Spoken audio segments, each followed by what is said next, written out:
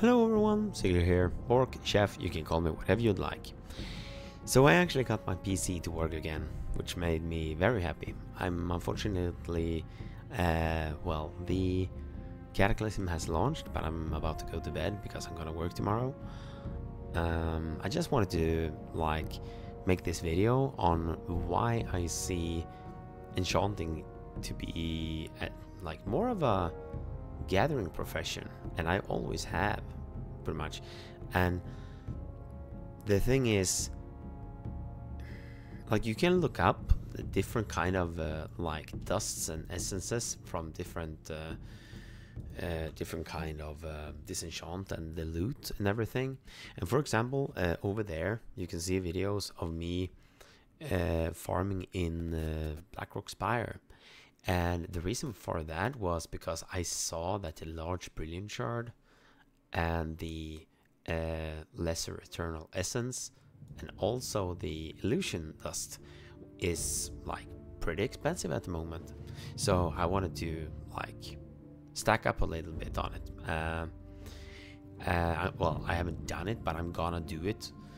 Um, but it's just an example of stuff that you can farm and why I see it uh, more of a, a gathering profession for, first and foremost often because uh, the good thing with it as you can see let's let's see like uh, let's say I want to post a large brilliant shard and it's gonna cost this much and I can like it doesn't matter how long I will set it for because it's always the, the deposit fee is always zero and if I would put it on an enchant, uh, let's say that I would do, uh, I don't have any mats now, but let's say I wanted to craft uh, this one, the superior uh, superior impact.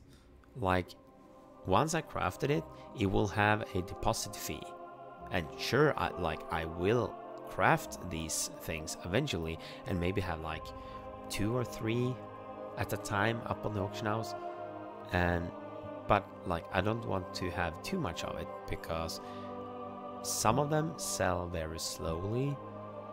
And if you overproduce and you sell a lot of them the deposit fee is gonna hurt you in the long run because you just keep reposting. Let's say that you made uh, 25 or even 50 of them and the, the deposit fee is gonna be more like let's say that you eventually sell something for i don't know x amount of gold and you will be like oh nice i sold one.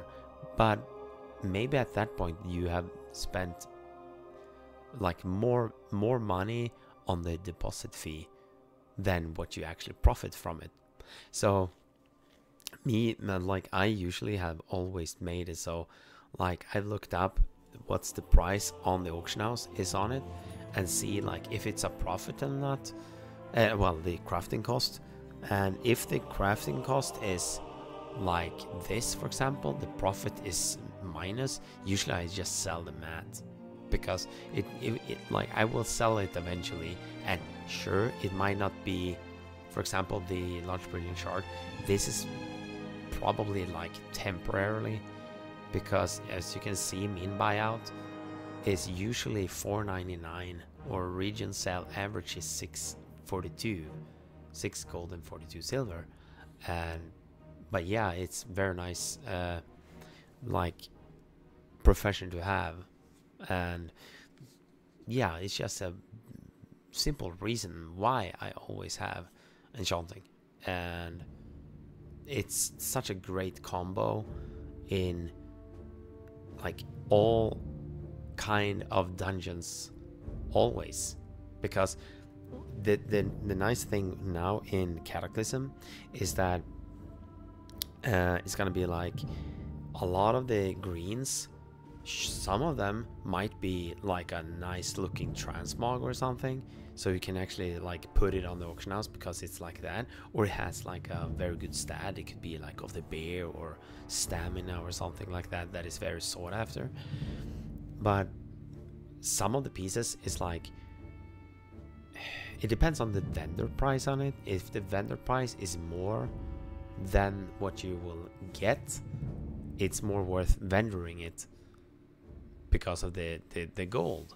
But it, like you, you will have to to look look it up and like what is the best for this specific item?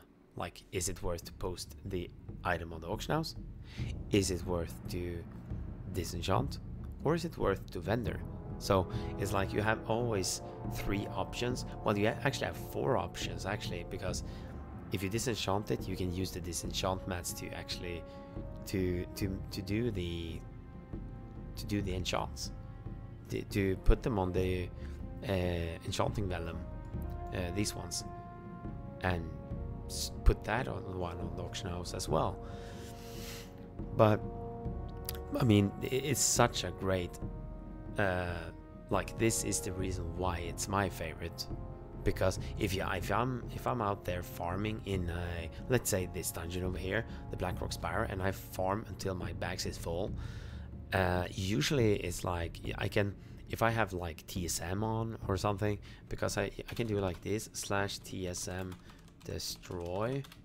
Okay, I don't have any greens right now, but usually when I loot something, a window will, will pop up and I can press destroy now, and it will dis it will disenchant that item the thing is that it's gonna free my backspace because let's say I have a lot of greens and all of them is turning into lesser eternal essence. If I have 20 items and I disenchant them and they turn into to 20 lesser eternal essence, basically if I started with 20 greens, that is taking up 20 slots, but when I disenchant them, they will turn into one slot because they stack up to 20. And you can even make the lesser eternal essences to greater eternal essences. So you can actually save even more space. So you can just keep going. And yeah, it's just perfect to do that. And yeah, it's just the way that I'm thinking and I've always have thought of enchanting. Just it's like a gathering profession for me, first and foremost, because it's the perfect way that I play, which is soloing dungeon, and it's a perfect match with skinning. Because, for example, in this one, the dragonkins are skinnable, which makes it so they will drop the thick leather and also the rugged leather so, and I mean, you, you get like one or two of them, and so technically, if I get one dragonkin and I skin, uh, kill it and skin it, uh, it's like one one and a half gold for each skin on it. So yeah, that's just a small little tip and the reason why I see it as a gathering profession for first and foremost. First and foremost, I can't even speak. But yeah, uh, if you click this video over here, you will see why this DK will be my new main in uh, Cataclysm. And uh, the release of Cataclysm has been re released, and I wish you a very nice leveling, and I hope that you will thrive in Cataclysm Classic. And uh, uh, consider to like and subscribe to the channel if you felt like this is helping you.